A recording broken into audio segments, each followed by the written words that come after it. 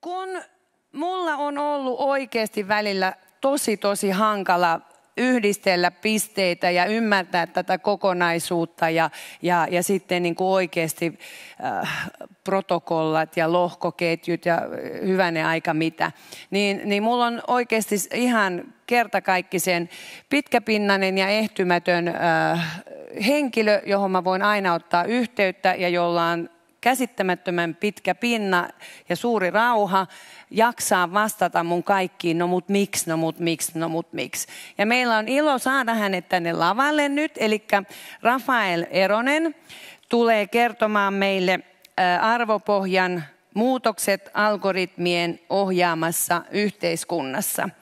Ja Rafaelista sen verran, tai Rafe, että hän on Binotic Oyn perustaja ja toimitusjohtaja – hän on myös Blockchain-foorumin hallituksen jäsen, mikä on hienoa, että olet siellä mukana. Ja erittäin kokenut älyraha-alan tutkija. Hän tuottaa sisältöä uusille alan tietotoimistoille ja järjestää kryptovaluuttaa, kryptovaluutta-aiheisia koulutuksia ja antaa siis privaattiopastusta myös. Rafe, ole hyvä. Ja yksi pääjärjestäjistä myös Binotik. Joo, kiitos, kiitos.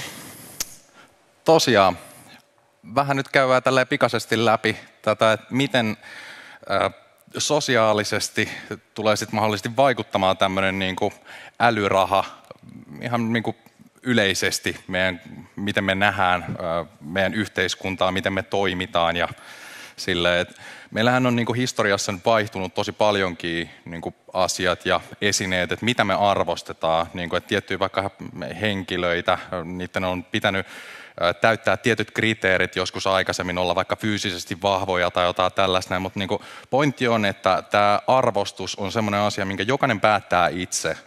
Ja se ei ole ainakaan mun mielestä semmoinen juttu, että tämä on nyt selkeästi kaikkein parasta, arvokkain, merkittävin asia, vaan se on tosiaan perspektiivistä kiinni. Eli miten toi raha, nykyinen siis fiat-raha, miten se vaikuttaa meihin? Se vaikuttaa hyvin pitkälti meidän aikapreferenssiin. Eli tämmöisiä asioita, mitä me ei välttämättä ihan niin kuin tietoisesti edes mietitä, mutta mitkä tavallaan tulee meidän yhteiskuntaan tämmöisin alitajuisina motivaattoreina. Eli aikapreferenssistä esimerkiksi tämmöinen juttu, että mun mielestä me ei todellakaan suunnitella tällä hetkellä tarpeeksi pitkälle tai tarpeeksi hyvin koko meidän niin kuin, yhteiskuntajärjestelmiä. Ja siihen osittain mä ainakin syytän, että siihen niin kuin, tai osa syynä on raha. Ja meillä on nykyään tosiaan käytössä tämä niin kuin keinesialainen talousjärjestelmä, missä tosiaan motivoidaan ihmisiä kuluttamaan koko ajan ja ottamaan lisää lisää lainaa mikä mun mielestä ei kuulosta kovinkaan loogiselta, koska jos mikä tahansa yksityishenkilö olisi tässä samanlaisessa taloudellisessa tilanteessa kuin missä meidän vaikka Suomen valtio tällä hetkellä on, että velkaannutaan kovaa tahtia koko ajan enemmän ja enemmän. Välillä saadaan vähän maksettua velkoa pois, mutta pääasiassa velkaannutaan lisää. Niin me oltaisiin konkurssissa. Meille ei enää annettaisi lainaa. Tämä on oikeasti mun mielestä ainakin niin ongelmallinen tilanne. Ja just niin kuin tosiaan Keynes itse sanoi kans, kun sieltä kysyttiin, että miten, tämä, miten me tullaan hoitamaan tämä asia sitten, kun tätä velkaa vaan tulee lisää, niin hänen vastauksensahan oli se, että no eihän meidän tarvitse siitä murehtia, että siihen, siihen menee vielä joku sata vuotta, että ei me olla silloin enää elossakaan. Eli mun mielestä tämä lähtökohta on se, mikä ainakin omasta mielestäni, niin se vaikuttaa justiinsa näihin tämmöisiin alitajuisiin motivaattoreihin, miten ihmiset käyttäytyy ja mitä ihmiset tekee.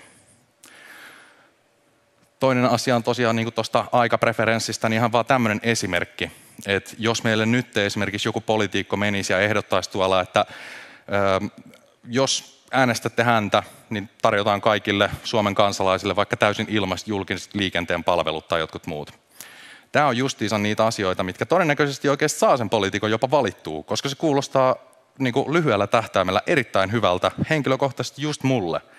Että okei, ilmaiset bussikyydit. Mutta pitäisi vähän koittaa miettiä sitä pitemmälle, eikä vaan sitä niin kuin, just nimenomaan niin kuin Nikokin viittasi siinä vaahtokarkkikokeessa, että otetaan nyt vaan se yksi vaahtokarkki, vaan miettiä, että mistä se raha sitten tulee niiden ilmaisten palveluiden pyörittämiseen.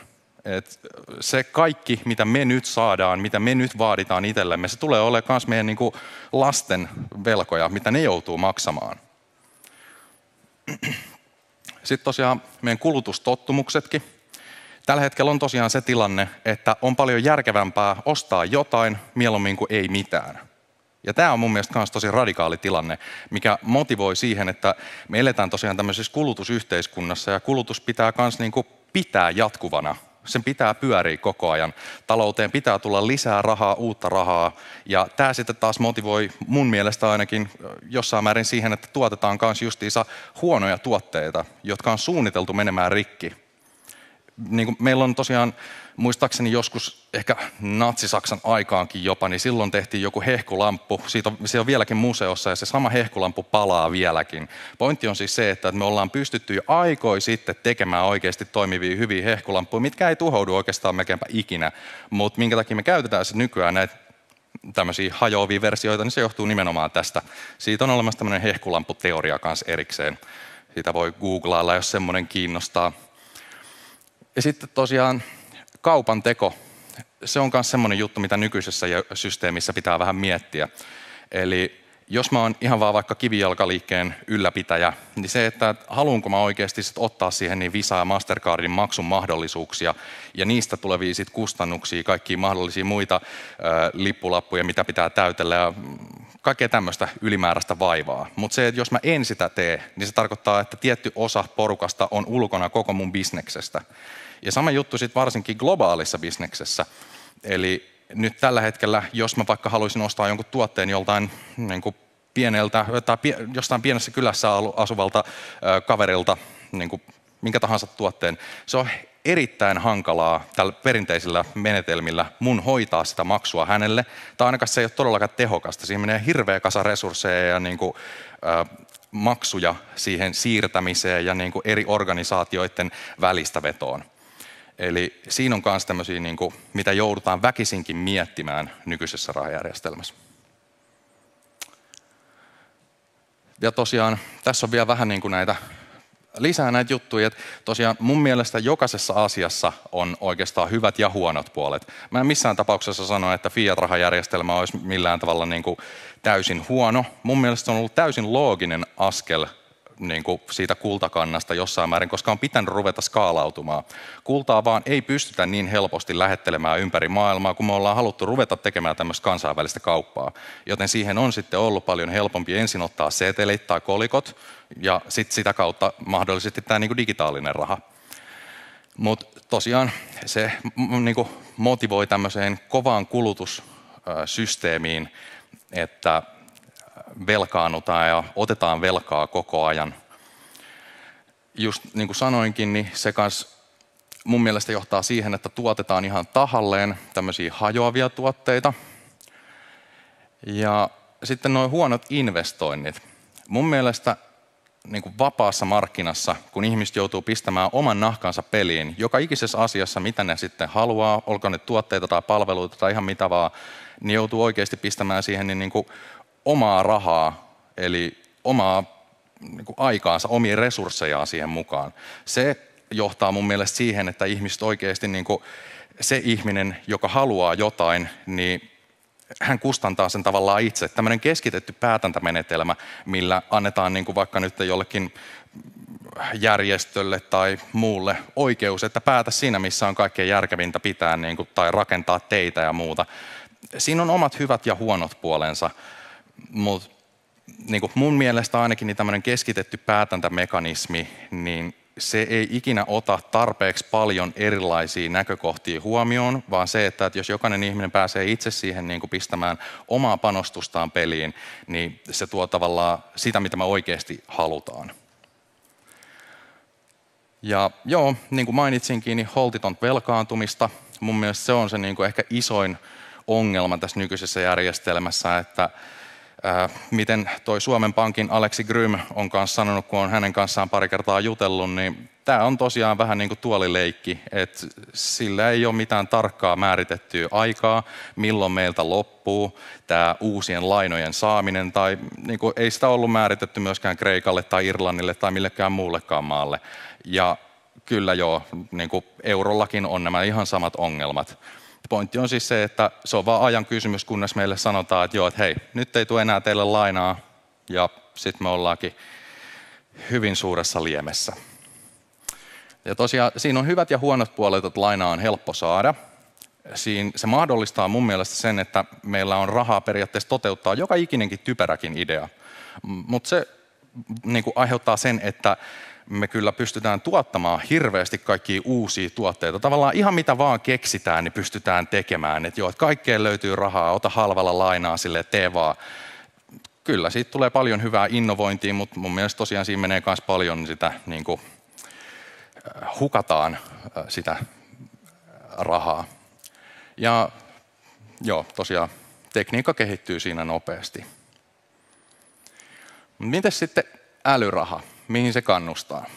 Eli koska siinä ei ole semmoista ihan samanlaista rakenteellista ongelmaa kuin mitä fiat-rahassa on, eli tämä niin kuin inflaatio tai epämääräinen emissioaikataulu, eli tämä miten uutta rahaa tuotetaan, niin tämä motivoi siihen, että jos sun raha koko ajan kasvaa arvoa, tai ei nyt koko ajan, mutta siis keskimäärin pitemmällä aikavälillä, jos se on niin, että säästämisestä hyötyy paljon enemmän. Niin kuin nyky, nykyisessä järjestelmässä, jossa säästät oikeasti sun eurot johonkin tilille, niin ei ne, ne ei tee mitään muuta kuin vaan menettää tavallaan arvoa. Se korkokin, mitä sä saat siitä korkotililtä, niin se ei todennäköisesti kata sitä, että mikä on niin kuin inflaation määrä siinä mukana. Et ihan vaan tämmöisenä yleisenä statistiikkatietona, niin siis jos eurollakin on esimerkiksi kahden prosentin niin kuin vuosittainen tämä inflaatioprosentti, niin se tarkoittaa, että tämän 20 vuoden aikana, mitä tämä meillä on Suomessa ollut käytössä, että sitä rahaa on painettu noin 45 prosenttia jo lisää. Se on aikamoinen nakerrus niin kuin siitä arvosta, mitä me ollaan saatu. Mutta joo, tosiaan älyrahan kanssa sitten, jos se arvostus koko ajan niin kuin nousee sille samalle rahayksikölle, se motivoi paljon enemmän siihen, että säästetään. Se myös motivoi siihen, että mietitään paljon pidemmälle näitä meidän ylipäätään suunnitelmia ihan valtiotasolla ja ihan niin kuin kotitaloustasolla. Se myös johtaa siihen, että esimerkiksi just niin kuin puhuttiin aikaisemmin tästä näistä avoimuudesta, niin Bitcoinissa, kun sä pystyt, no mä nyt otan esimerkiksi tälleen Bitcoinin, niin kuin, koska siinä kaikki tiedot on täysin avoimia, niin sä pystyt paljon paremmin tarkkailemaan, että kuinka paljon kelläkin on ja se, mikä siinä on hienoa Bitcoinissa, että kukaan ei pakota sitä käyttämään. Siinä ei ole mitään väkivaltakoneistoa taustalla, mikä sitten oikeasti sanoisi, että hei, se on ihan sama, mitä tällä järjestelmällä käy, sun pitää käyttää sitä. Vaan jos esimerkiksi joku menee ja haalii ihan liian suuren osuuden itselleen bitcoineja tai louhintatehoa tai ihan mitä vaan, niin kaikki käyttäjät pystyy suht helposti jättämään sen koko vanhan järjestelmän, kopioimaan sen kaiken muun periaatteessa, mutta niin kuin jättämään tämän vaikka ison pahan pelurin kokonaan pois. Eli sulla on insentiivit siihen, että sä et voi tai halua omistaa liian paljon, koska muut rupeaa hyljeksimään sitä järjestelmää. Tämmöinen ei niin kuin fiat-rahassa ole mahdollista ja siinähän se keskittymisen prosentuaalinen määrä on ihan käsittämätön. Sitten just henkilökohtaista vastuuta. Tämä on myös semmoinen niin hyvä ja huono puoli. Joillekin se on vaan mukavampaa, joissain tietyissä tapauksissa ja asioissa se on munkin mielestä mukavampaa vaan ulkoistaa se niin kuin vastuu asioista muille. Ja mun mielestä se onkin ihan ok. Pitää vaan tavallaan ymmärtää sitten ne riskit siinä tilanteessa.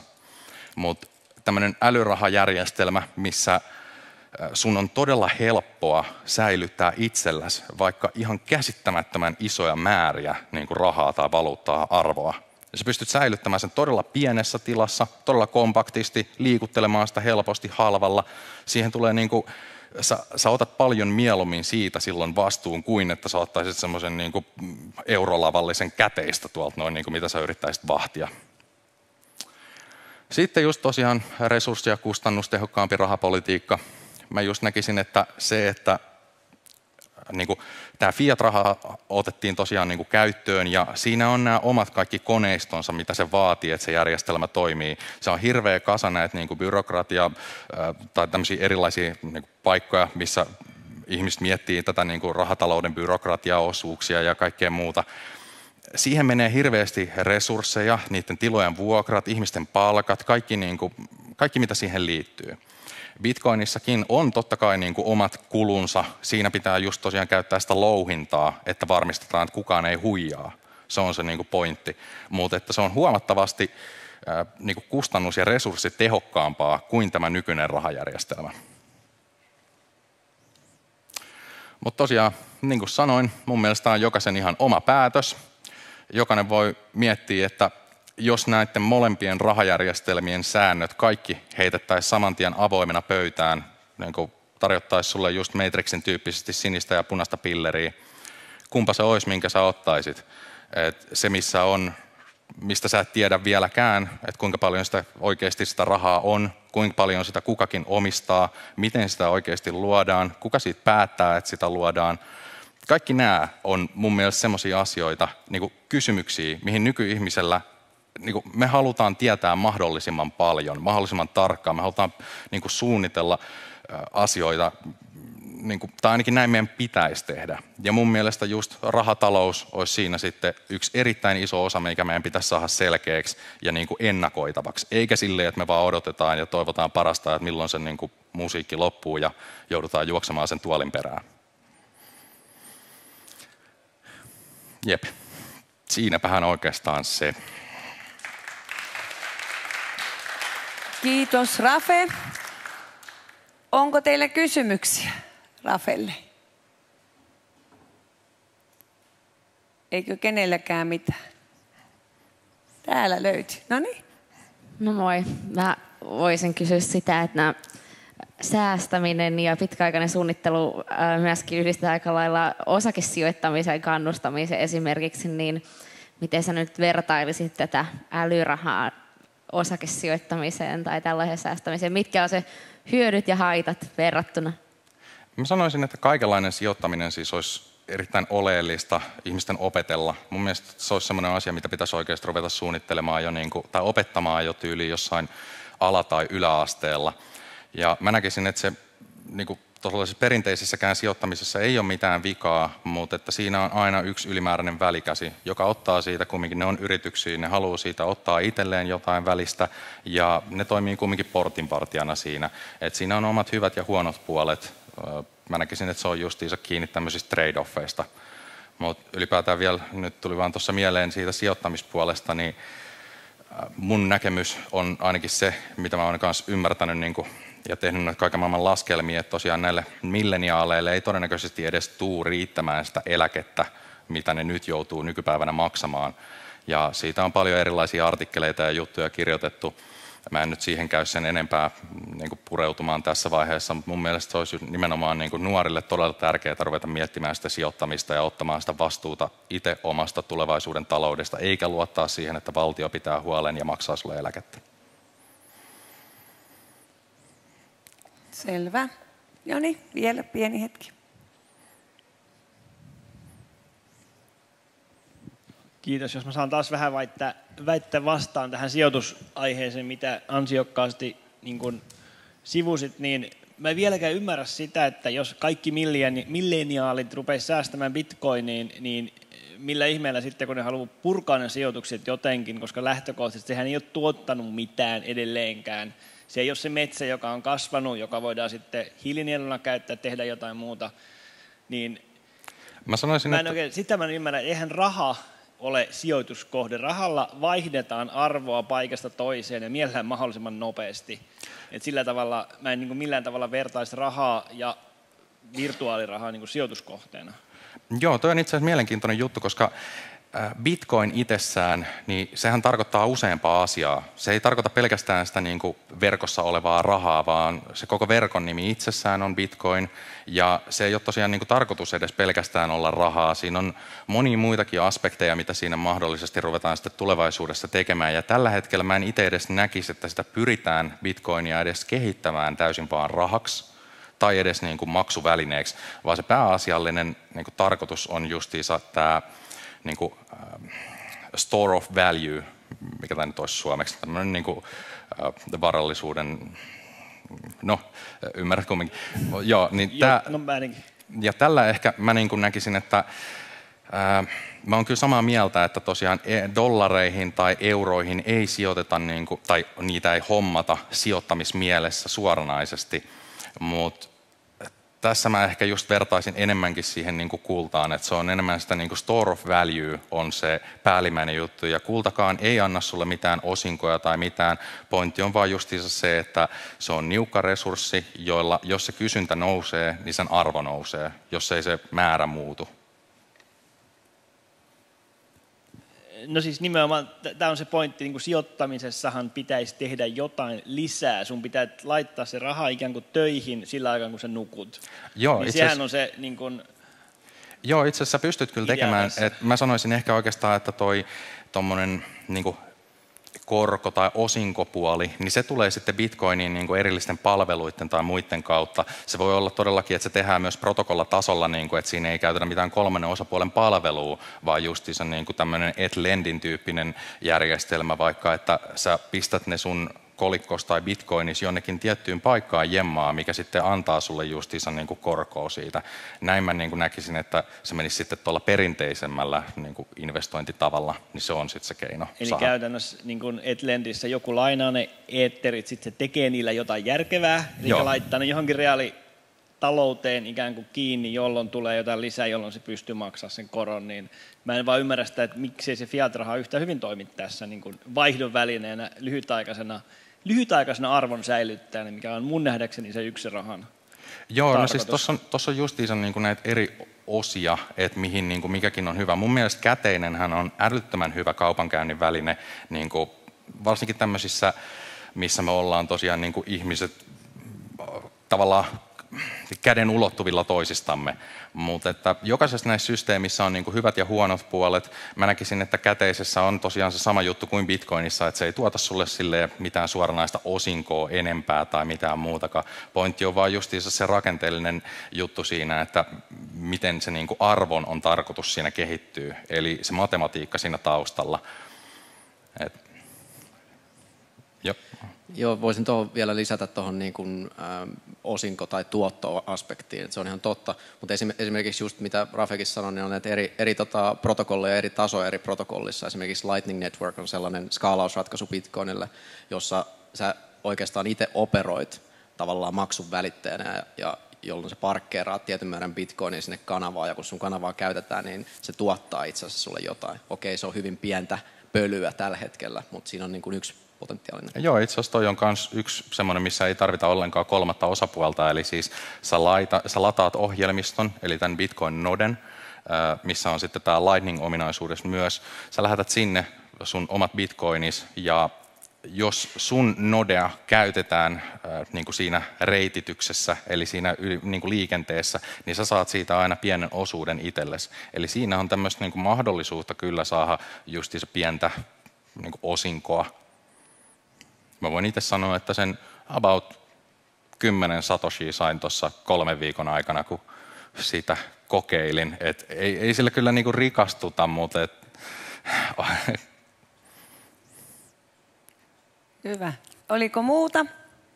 Muita kysymyksiä vielä?